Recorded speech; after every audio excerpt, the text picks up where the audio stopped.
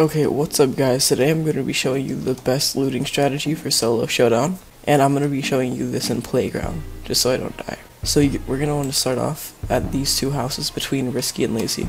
I've landed here every solo showdown game I've played, on and off stream. I've always landed here because it's the best looting strategy that I've found. And I don't know if anybody else does this, so I'm not sure if anybody else uses this. I just thought of it yesterday and it works really well. So after you finish looting these two houses, what you're to want to do is break down this fence and these plants and after you finish breaking all this down, and these trees if you want to, what you're to want to do from here is move over towards the bridge and loot that. With this looting strategy, you get in the zone very easily, no matter where it is. And if you want to, you can use it to get a ton of kills, but you don't have to. If you just want to survive and win, you can do that too. You want to loot the ridge over here, and after you finish that, you're going to move over to this rift spawn right here.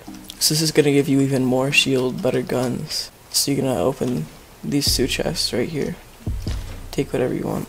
Okay, and then you're gonna want to break these trees because these trees give you a ton of wood. You're gonna want to break all those, and this should give you about 80 or 100 brick. So you're definitely gonna want to break that. So that'll give you a few hundred more materials just right there.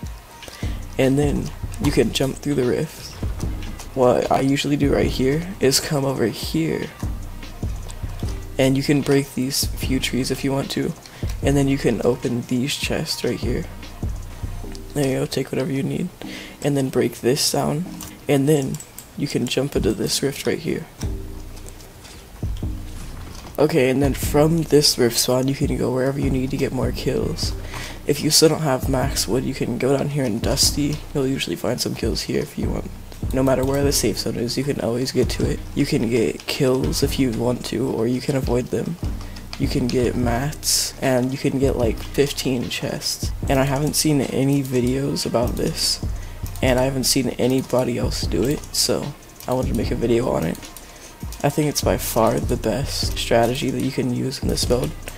And yeah, let me know what you think about it in the comments if you know an even better strategy for this build to get wins and kills and whatever. And yeah, Hope you enjoyed this video. If you did, drop a like and subscribe, and I'll see you in the next one. Peace.